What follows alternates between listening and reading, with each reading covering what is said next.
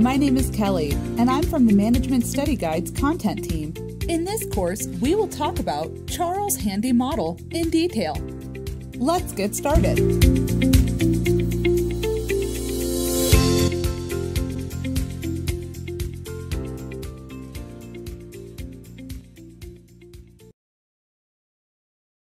Jennifer Smith has joined Oswald Software Inc. as a senior software tester. She has about three years of experience working as a software tester in her previous organization, Leonard Inc. On the first day of her work at Oswald Software, Jennifer realized that this organization is very different from her previous organization. Her feeling proved to be right in a period of over a month as she continued to work at Oswald.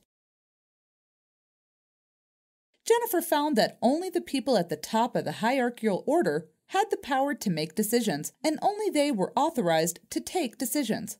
These powerful people also enjoyed special privileges at the workplace. They were the most important people at the workplace and were also the major decision makers.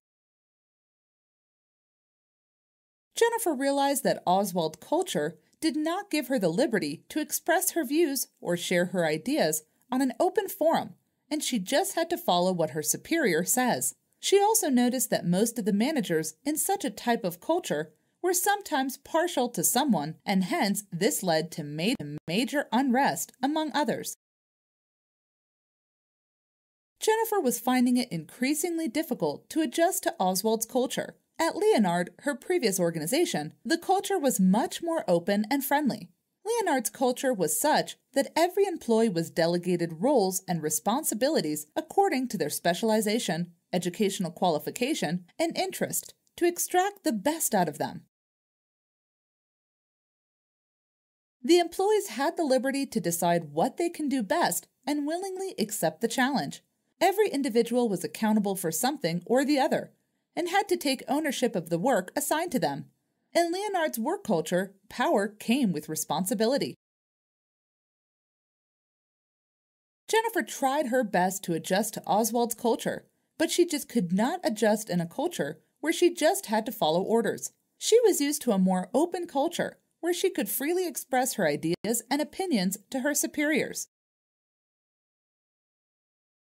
Finally, Jennifer gave up after trying for a year.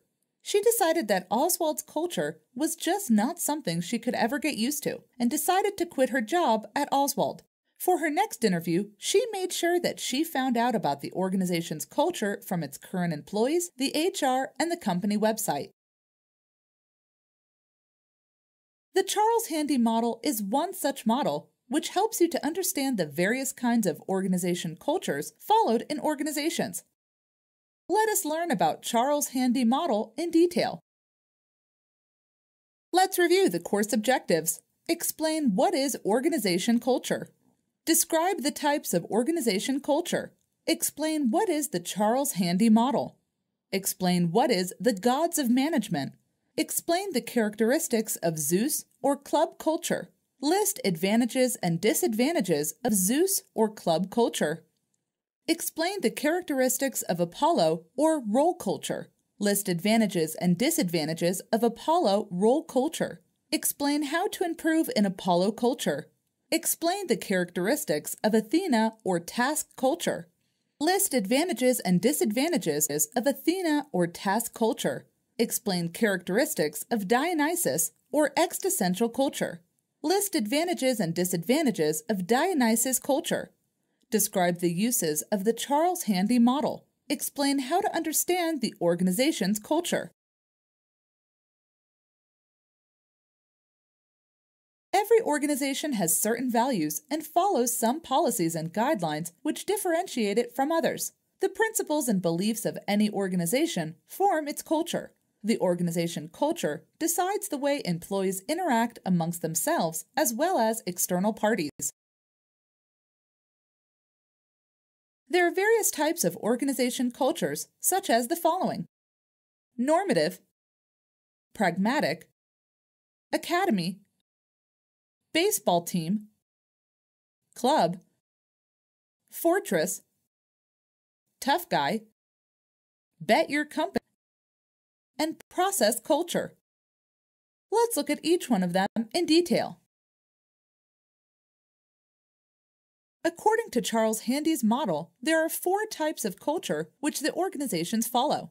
They are power culture, task culture, person culture, and role culture. Let's look at each one of them in detail. Power culture. There are some organizations where the power remains in the hands of only a few people and only they are authorized to take decisions. They are the ones who enjoy special privileges at the workplace. They are the most important people at the workplace and are the major decision makers. These individuals further delegate responsibilities to the other employees. Four gods of management, their associated culture and picture is as follows Greek god Zeus, culture, club culture, picture, spiderweb. Greek god Apollo, culture, role culture, picture, Greek temple. Picture associated with Apollo, role culture.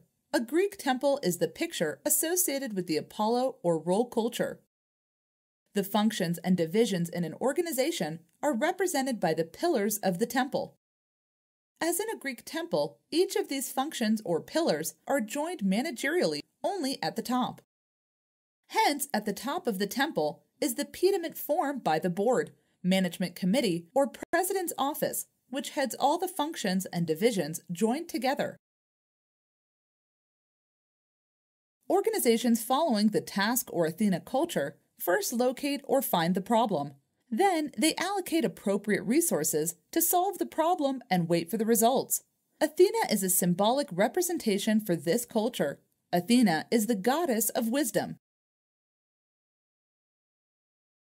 Dionysus is the symbol of existentialism which believes in our control on our fates. Therefore, such organizations typically consist of independent specialists who enter the organization only to achieve their own purposes. Such a culture is best suited in situations where there is ample individual talent available and the people are encouraged to work independently. Here's a tip it's important that in order to avoid conflicts, you should always mix cultures in appropriate ways a startup may become more Apollonian as the organization grows. Also, as organizations grow, Athenian culture also becomes more rules based. Uses of the Charles Handy Model The Charles Handy Model helps any individual joining an organization, as well as the management, to have an understanding of the organization culture. Based on the organization culture, an individual and the management can try to best fit in and adjust to the culture.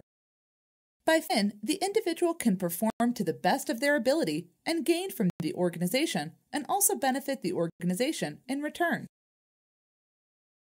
This is just a demo of the complete course. With every course, you get to view the course